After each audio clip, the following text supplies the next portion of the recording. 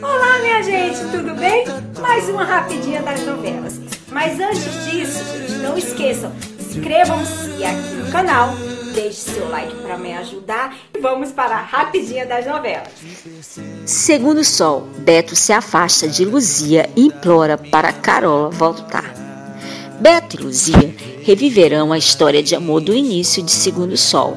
No entanto, Carola dará um jeito de separar os dois e seguirá os conselhos de Laureta, saindo de casa e indo para um bairro periférico.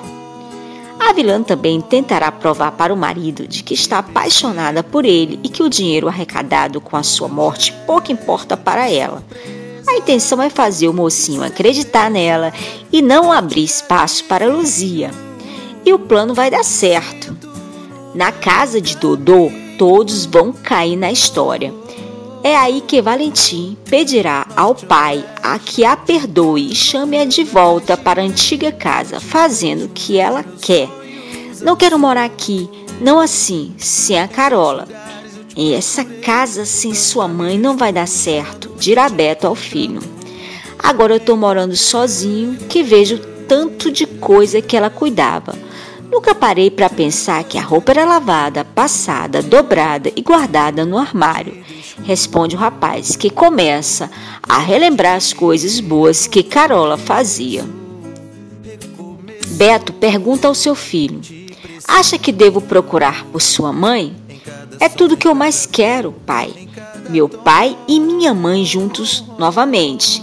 Mas se acha que vai ser feliz sem ela, é melhor se separar. Explica ele.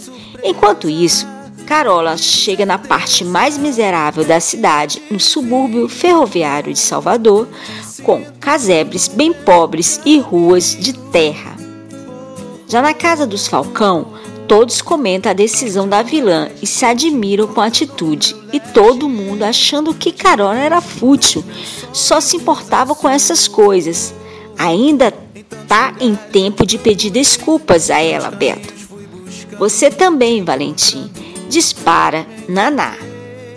Vou procurar Carola, vou pedir desculpas, vou pedir para ela voltar para casa dela.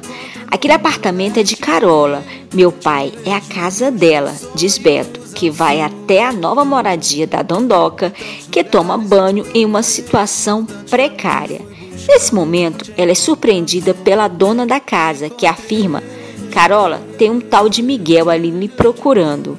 Ela então arregala os olhos e pergunta: Miguel?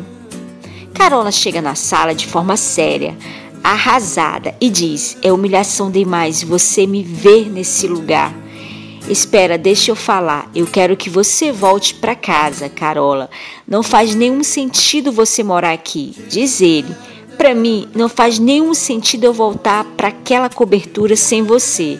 Só volto se você voltar também revela, dando a entender que os dois vão voltar. É isso aí, minha gente. Será que Miguel vai aceitar novamente Carola na novela Segundo Sol?